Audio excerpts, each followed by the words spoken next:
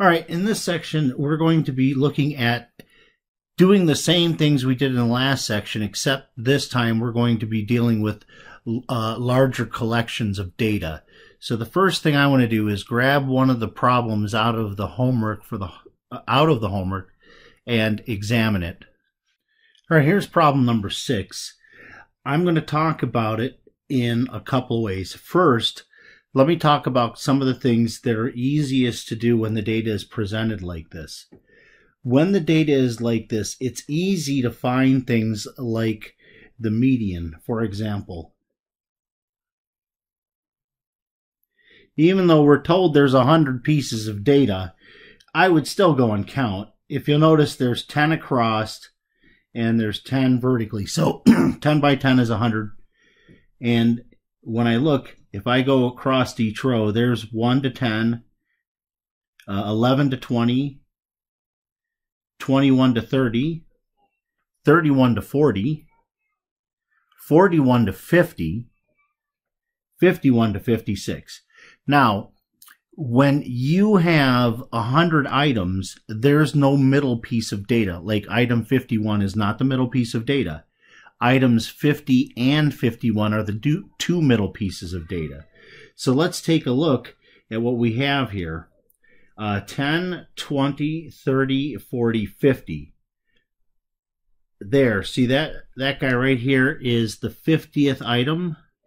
And this guy right here is item number 51. 50th and 51. So the median of those two, we take 55 plus 56 divided by 2, and we get 55.5. So the median is really easy to tell here, as is the range. The range, all we do is take our, our highest value, 63, and subtract our lowest value, 51, and that's 12. And then the mid-range. The mid-range is going to be uh, these are all equal to that, so I put equals. The mid-range, we take our highest, which is 63, and our lowest, which is 51, and divide it by 2. Uh, what is that? 114 over 2, so that is 57. And so those were easy to do. And those are also easy to do even if we put it in grouped format. Now, what's not so easy to do from this is to try to get the mean and standard deviation because you would have to enter in all of this data to do it. So to try to make things a little bit simpler, we've come up with something called grouped data. Let me move this up a little bit. So instead of writing everything down, here's what I do. I make a table and I'll have my data value. That'll be my X. And then since, if you'll notice, we have 100 pieces of data, 51 to 63. That means there's a lot of repeats. So let me put what's called the frequency. This is the number of times a data value occurs. So we'll call it by the letter F. And let me go ahead and put our numbers in. So I'll start with 51, which you see happens three times.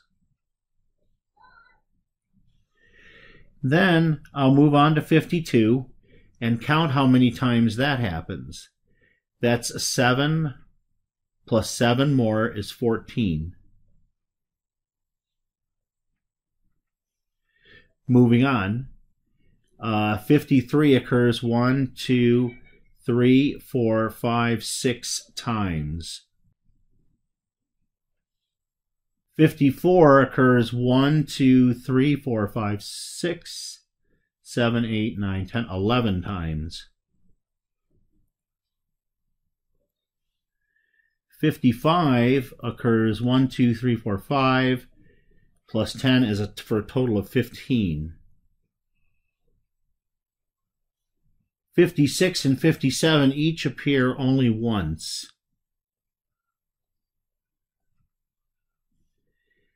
Then 58 occurs a bunch of times. I've got 8 plus 6 more for 14. 59 occurs 1, 2, 3, 4, 5, 6, 7, 8, 9, 10, 11, 12 times.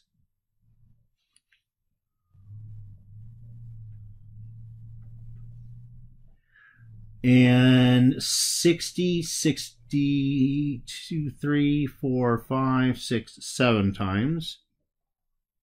60 occurred 7 times. 61 occurs 5 times. 62 looks like it only occurs 3 times. And then finally, 63 occurs 7 times. Now, it's easy when you're looking at a lot of data to forget what you're looking at and, and lose track. So let me add these all up. The total number of frequencies should add up to be 100. So let's just do a quick add of them. 3, 17, 23, 34, 49, 50, 51, 65, 77, 84, 89. It looks like I only have 99. What happened? Now it looks like I found my mistake here. That was a 7, and that makes that 100.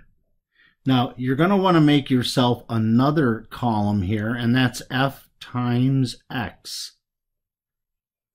This is where I multiply the two of them to get this one here. And so let's see what we have. 51 times 3 is 153. Uh, 52 times 14 is 728. Uh, 53 times 7 is 371. 54 times 11 is 594. 55 times 15 is 825. 56 times 1, well, that's 56. The next one's easy too, 57. And then 58 times 14 is 812. Uh, 59 times 12 is 708. Uh, 60 times 7 is 420. 61 times 5, 305. 62 times 3 is 186. 63 times 7 is 441. And if I add up all of these, I get 5656. Now we're ready for a definition. For grouped data,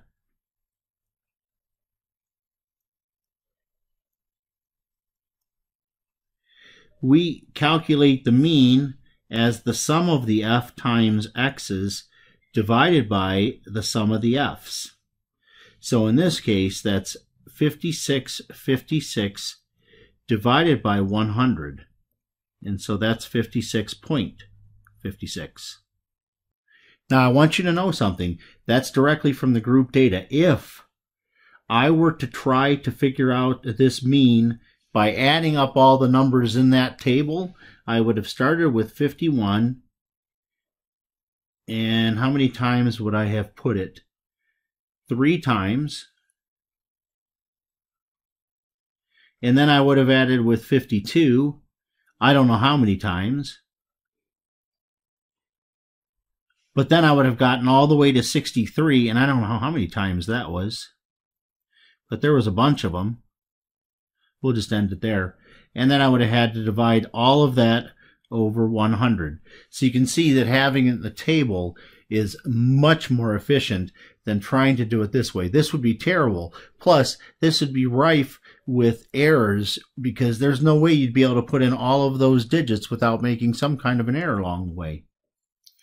So anyways, we have that. Now, let me come back for a minute and talk about some other things before I do the standard deviation.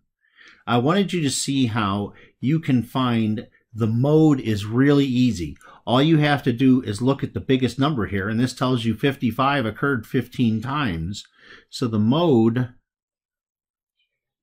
equals 55. The median is a little tougher to tell from here, but you just have to keep track of how many numbers you've used up so far. For example, if I were to do like an accumulative column here for these frequencies, by the time I was done with 51, I would have had 3. And then by the time I was done with 52, I would have had 17. I'm just adding them as I go along. By the time I'm done with 53, I have 24, 35, 50. Stop right there. I know that to find the median, I want items 51 and 52. And item 51 is the last of the 55s. Then item 56 is the 51st first data value. So that's how you can tell where the median is on this table. I don't need the cumulative for anything else. Now let's go ahead and talk about the standard deviation. Just like the mean, if I wanted to, I could write a gargantuan uh, formula for the standard deviation, but it's much easier to do when it's in the frequency table format. So let's go ahead and write it.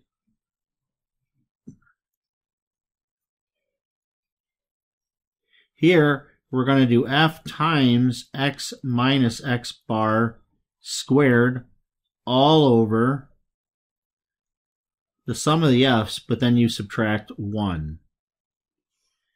So I'm going to have to increase this table, or I'm going to have to do some things with this table in order to make use of this formula. All right, I put it back here. What I want to do is increase this table a little bit. What I want to do is do x minus x bar. Remember that was x bar was 56.56. Then I want to square it. And then whatever that is, I want to multiply by their frequency. So this will allow me to fill out this table here because I need to get, I need to sum up this column. That's the one that I need. I already know that the sum of the F's is 100, so I know that this denominator is 99. I've already got all that. Let's go ahead and do this stuff. X minus X bar, and then square it, and then this stuff. I'll go ahead and just start filling out the table, but I'll do it in super fast speed so that you're not as bored.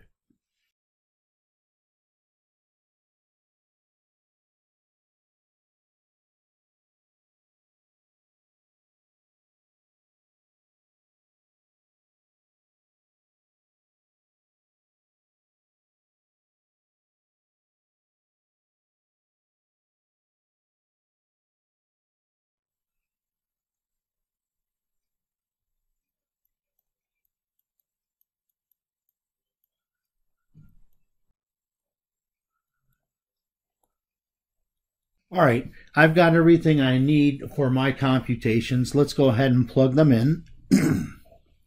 so my standard deviation is the square root of the sum of the f times x minus x bar squareds all over the sum of the f's minus 1. Just to reiterate the formula, let me go ahead and put what we've got in that last column. I got 1242.64 and then in the denominator, I have 100 minus 1.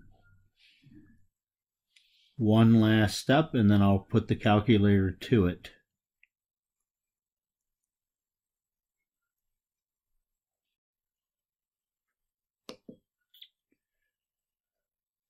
One two four two point sixty four divided by ninety nine and let's see what we get. I'll report my answers to three decimal places. So here I get 3.543.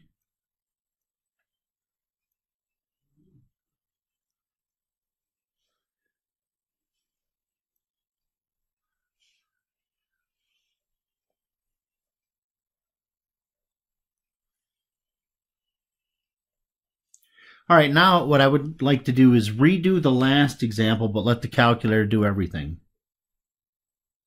So let's redo the last example,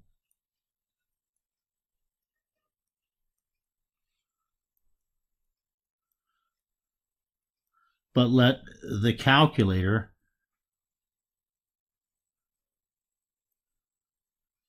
do it all.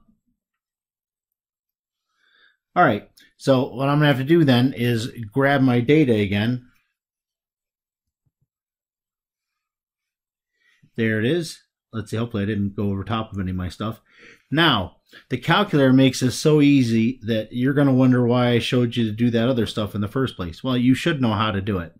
Remember to enter data into this calculator, hit stat, edit, that's where we want to be. And now, when you're here, we can delete all of that data from the left. I'll just keep hitting the delete button until it's completely gone. Move over to the right and delete as well. Now, if you only have a, people, a couple of pieces of data in there, you could just overwrite it because what I have here is probably more uh, than just a few pieces of data. So let me get my x values in. Now move over to the next column and put in your frequency list. So this is the number of times each of those data values occurs. All right, it looks like I got all my data in. Now, in order to get all the stuff that we want, go back to your stat menu and then go over to calc.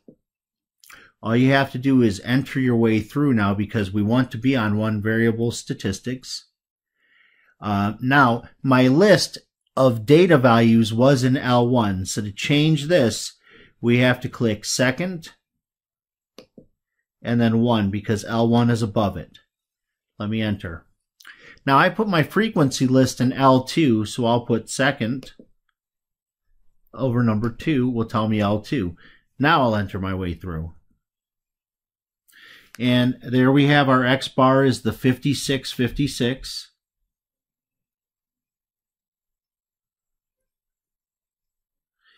The standard deviation is given there too.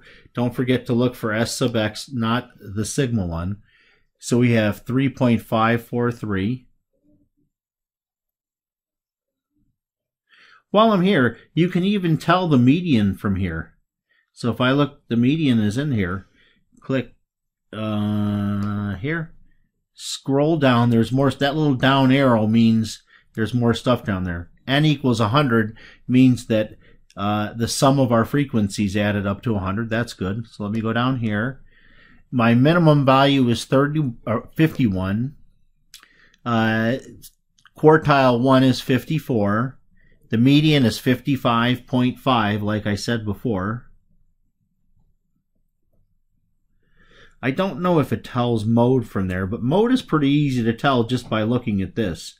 So I don't think we have to do mode, but we'll see if what it has in here. Uh, Q3, it's got the max. So you can take the max minus the min yourself to get its range. And that's it. So it doesn't give us the range. It doesn't explicitly give us the range and it doesn't explicitly give us the mid-range either. But that's easy enough also. Uh, the range and the mid-range have got to be the two easiest computations of them all.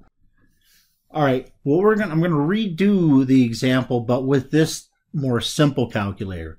So remember, to get your calculator in stats mode, the thing that you want to click is right above the data button. See that stat up there, that blue stat? That's what you want to activate. So you hit second, and then you hit your data. And it'll ask you for one var or two var. We want one var. So let me hit equals. And we're ready to roll. Now all we have to start doing is putting in our data.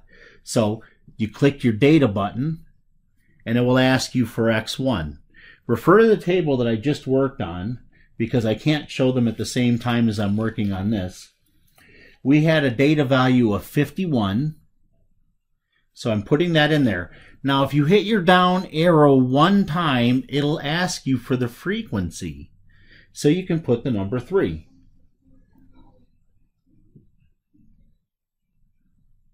And then arrow down. Don't hit enter or you're going to screw things up. Then we had 52. And that 52, I, I want to press enter so bad. That 52 occurred 14 times. And then X3 was 53. And that occurred, 53 occurred seven times. 54 occurred 11 times. 63 occurred seven times. So we've got our numbers in. Now you can hit enter if you feel like it, just so you're done. Now we're ready to get our data, our, our statistics from all that. So, well, what you want to do is actually click on the data button. Takes a few seconds to calc. And actually, I made a mistake. I clicked stat bar. That's my bad. All right, so our n is 100 like we knew. Now let's move over. There's my mean. There's my standard deviation. I don't care about sigma x. We may at one point care about the sum of the x values, which was 5656, and the sum of the x squareds, they give that as well. Those are useful in some things as well. Now, notice that it doesn't give you the range, it doesn't give you the mode, it doesn't give you the median. So all those things you're going to have to do uh, in a different way than using the calculator. That's just because these calculators don't do as much as the graphing calculators.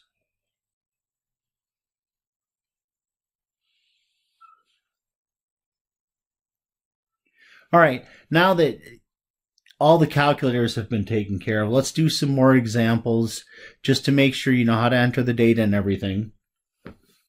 Compute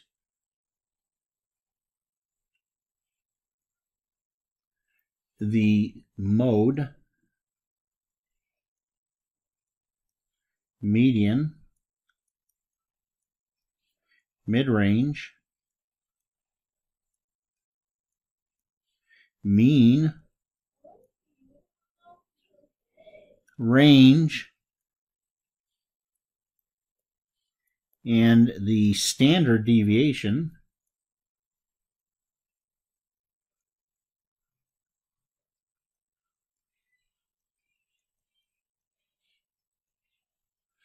for the following frequency distribution.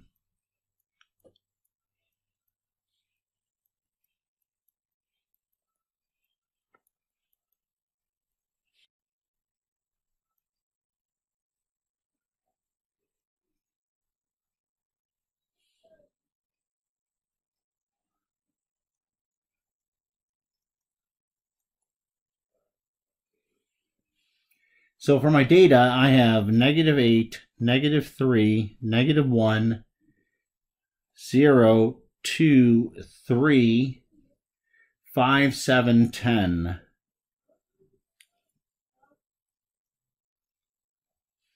And the frequency, I have 21, 78, 99, 71, 80, 90, 76, 49, and 13. I'm going to stop here for just one moment.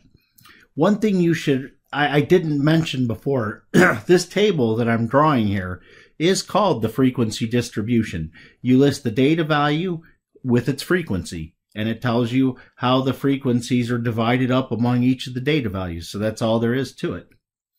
Now, let me go ahead and get some of my other, the, the easiest information to get right off the bat. For one, the pieces of data, well, I don't have that. I should probably add those all up and find out what they are in order to do most of most anything. But let's start with the mode and see if that's easy. That's usually really easy to do. And all I have to do here is see that negative 1 occurs 99 times, and that's the most. So my mode is negative 1. Now I'll take care of the mean and the standard deviation and the median later on. The n I'll also take care of later on when my calculator does it for me, so we'll have that waiting for us. Uh, mid-range, that one shouldn't be too bad. Let's take a look. The highest data value is 10 plus negative 8 over 2. That is equal to 2 over 2. Well, the mid-range is equal to 1. The range is a little bit different. Here, the range, we take the largest minus the lowest, and here we get 18. Now let me get these into my calculator. Let me go back to stat, edit, and I'll start writing over this. I don't have as much data as last time, so I'm going to delete the data that's in there only up to a point that I can overwrite it with the data, the new data that I had. My first one was negative 8. Then I have negative 3. Then I have negative 1. Then it looks like 0, 2, 3, five, seven, ten. Now let me go to the other one, and I'll just start deleting. Uh,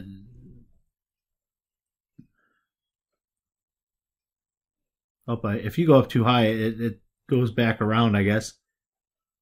So I can go back there around the other way. All right, then my frequency, 21, 78. 99, 71, uh, 80, 90, 76, 49, 13, and that is all my data. Then to get the rest of my uh, stats that I want, we click Stat, Calc, one variable stats. I've got my list in the right spot and my frequency list in the right spot, so let's go ahead and calculate. It looks like my N is 577. And then for the mean, let's see what it gave me for that. that is 1.355.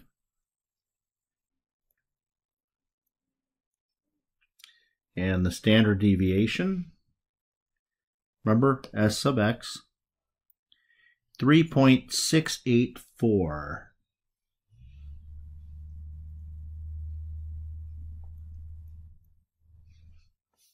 I think the only thing I've forgotten is the median. I don't think I've put it in here. I'll do it on the calculator in a second, but we know there's 577 pieces of data. That's an odd number. The, the so if I take 577 and divide it by 2, what do I get? Uh, 577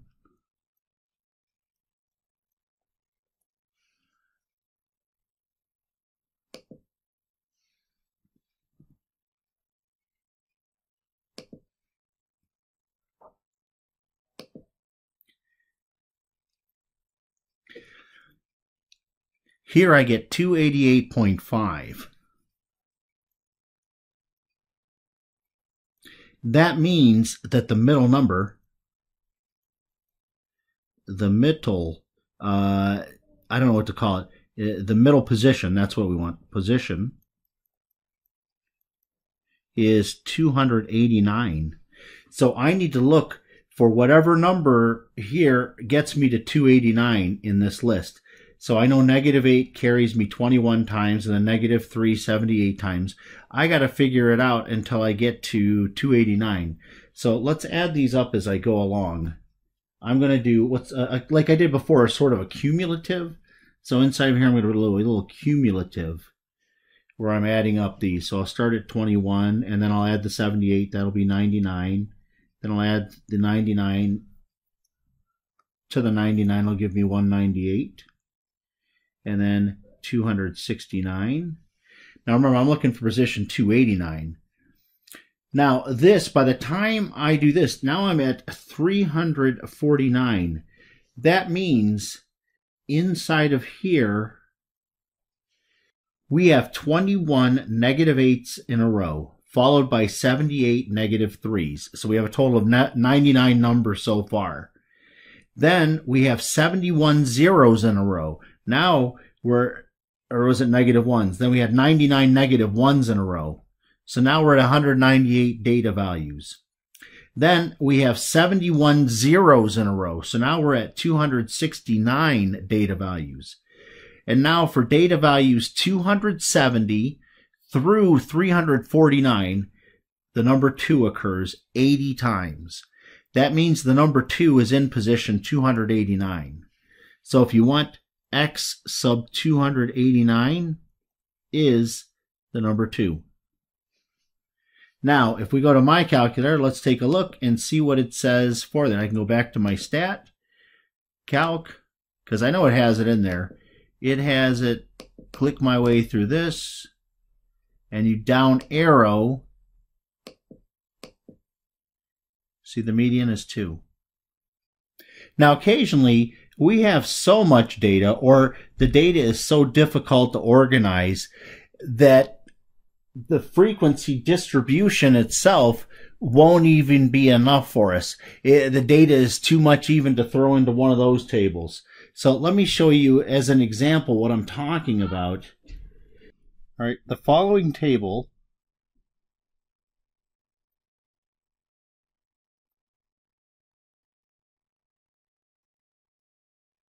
lists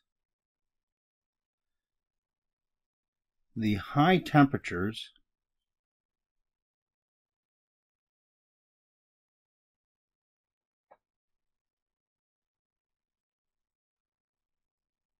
for Cleveland, Ohio, for every day for a full year. So what they have is arranged the tables in the following manner. We have the temperatures. Let's put them over here. TEMP. And now instead of giving all of the possible temperatures, I'm going to give a range of temperatures, say from negative 30 degrees through negative 20 degrees. Of course, these are in Fahrenheit. And then the number of days for which a high temperature fell within that range. There was only one day for which that range happened. The reason why you might do this is you could have individually hundreds of high temperatures, um, and especially if you go into decimals, you might it might be impossible to represent the data because you might have only one day for every single temperature. You might have 365 different temperatures and it wouldn't be contained well in any table. So it's better for examples like this to catch the various numbers inside of an interval like I'm doing here. So what you want to do though is you want to put these into classes and you want to make sure that each of the classes is the correct or the same size. So here I went from negative 30 degrees to negative 21 degrees, and then I'll go from negative 20 degrees to negative 11 degrees. Two days for that. And then we have negative 10 degrees to negative 1 degree. Five days for that. And then we have 0 degrees to 10 degrees. 8 days. All right, well, you can continue these. Notice that these all end in a 0 here.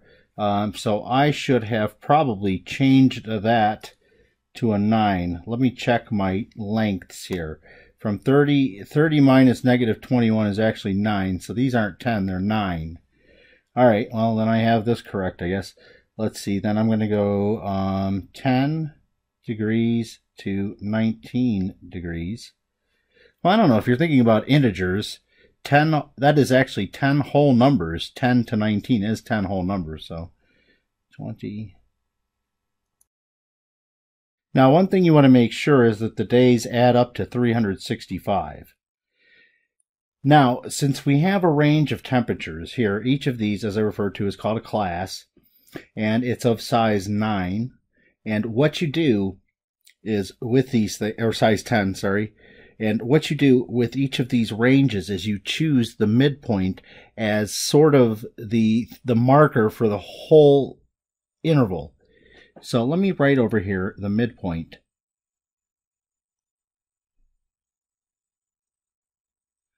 And for the midpoint, you're going to take the mean of negative 30 and negative 21. Let me go and do that. So if I do negative 30 plus negative 21, and I divide it by 2, I get negative 25.5. And then if you do negative 20 to negative 11, you'll find that it's negative 15.5. And you can see each of these is jumping by 10. So we've got all of our temperatures in there as well. Now, what I'm going to use, this here, I'm going to choose the days to be like my frequency. So let's call that F. My midpoint will be my X. So let me put those data in to the calculator. Now I've put it in once before, so excuse me while I delete it back out so I can show you how it works. So go back to edit and go in here and delete everything that you have, or at least delete a bunch of it. it delete enough of it to where you know that you will um, be able to overwrite it with the current data. And it all adds up just right. Go into stat to figure out what our numbers are. Move over to calc, one variable stats. L1 is what I want for my list. And now I've, I've got them in the correct places. This just is out of order on the page. L2 is also in the right place. So let me go ahead and see what we got. So my mean is 50.884.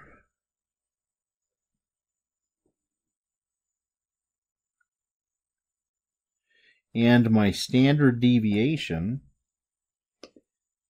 S sub x, is 2, uh, 24.305.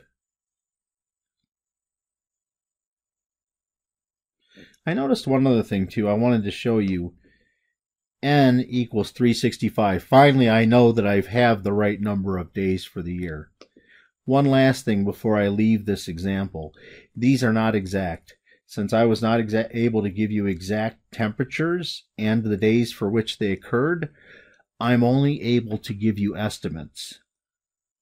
But if you were to actually go and compute all of this by hand, like say you knew all the high temperatures for all 365 days and you crunched them all, you would be surprised how close these numbers are. I should probably put degrees because these are in degrees. All right, here's a problem from the textbook. What it does here is it gives us classes. Now, if I come back up to the previous example, these ranges that I had here, these are the classes. So basically, they'll give you the classes. We'll, we'll break the data down into in equal increments. And what we're going to want, in order to estimate the mean and the standard deviation of this stuff, we want the midpoint of these classes. And that's just where we take the mean of 1 and 5. The mean of 1 and 5 is 3. So what I'm going to put, I don't know, it doesn't really matter. Let's put it here. Let's put mid, let me just call it m dot p for midpoint. And the middle point of 1 to 5 was 3. From 6 to 10 is 8. Uh, 11 to 15 is 13. Now, after a while, hopefully you can see that these are just jumping by fives, and then I can get rid of uh, bothering with doing any calculations because this is obviously way easier. And that's it. All I need in my calculator are these numbers here, the MP numbers and the frequency, and it can handle the rest. This will allow us to get a very good estimate of the mean and the standard deviation. So let's pop over to my stats. Where are you at? Edit them. Now, I don't remember if I have more or less data now. I'm just going to delete some of it just to be on the safe side until I see the end of the. There we are. All right, now let me go ahead and put my numbers in. Uh, so I'm going to put my uh, x values in first. And I think that's all of it. Now hit stat, go to calc, hit one variable stats, go through that. So my x bar is 19.859.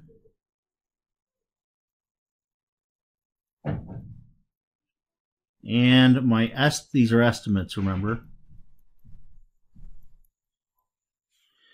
So my X bar was 19.859 and standard deviation 10.961.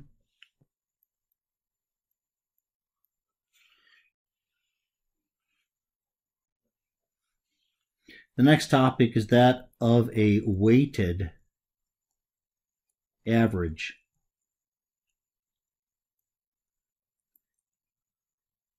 And if you remember from the frequency distribution, we would do x bar would look like this. The sum of w times x over the sum of f's. Well, the only difference here is the sum of w dot x divided by the sum of w's. So the only thing different about what I'm about to do is that f is called w, and that is it. All right, so uh, weighted averages are good for calculating things like GPAs and whatnot. So let's take a look at an example. Here we have a frequency distribution is given. So I've got my data value. Let's call it X. And my frequency, which I'm going to call W. So for my distribution, I have 0, 1, 2, 3, 4, like so. And my frequency W's are 2, 3, 1, 4, 3. Now, of course, I'm going to want to do a WX column so that I can add them all up. And they're very easy to do here. And then if we add that all up, what do we get? That's going to equal 29. And then I need the sum of my frequencies too. And I don't know why I said def when it should be W. Sum of the W's was equal to 5, 6, 10, 13. So then what's called my weighted mean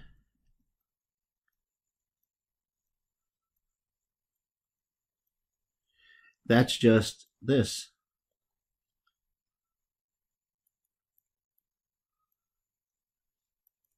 And so we get 29 over 13.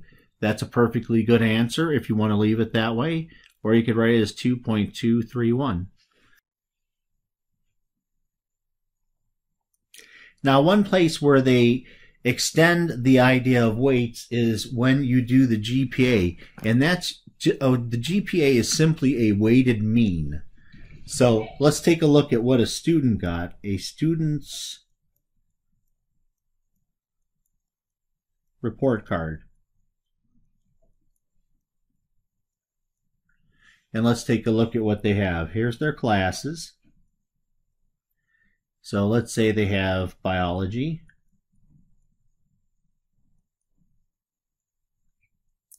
advanced calculus,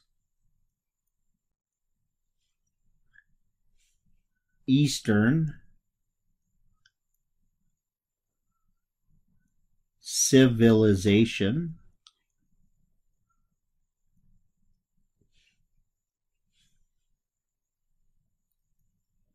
physical education.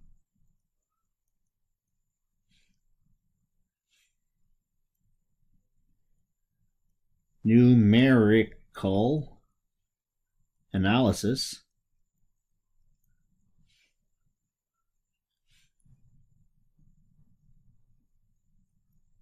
AIDS awareness. So those are our classes. we have the grades for them. So here are the grades for this student. They got a B, A, B, and then all A's. A, A, A. And the credits, the number of credits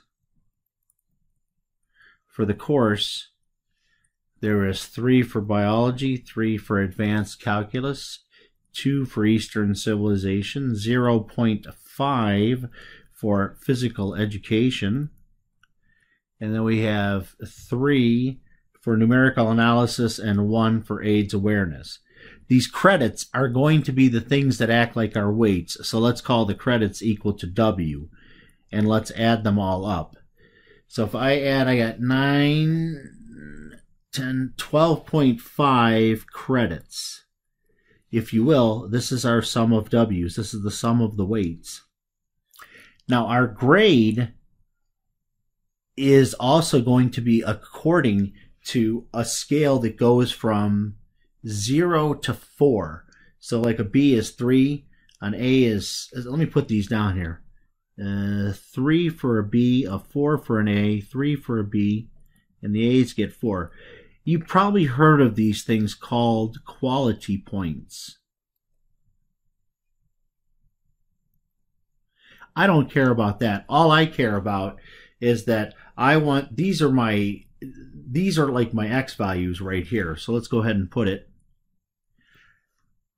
And these are my w's. Let me get um I've got my sum of w's. Let me get my wx column then. So 3 times 3 is 9. 3 times 4 is 12. 3 times 2 is 6. 4 times 0.5 is 2. 4 times 3 is 12. 4 times 1 is 4. So what do we get for that? If we add those all up, I get 21, 27, 29, 45 total. And so when I do the GPA, this is going to be your grade point average. I'll do the sum of the WX's divided by the sum of the W's. That's 45 divided by 12.5. And let's let the calculator do the rest.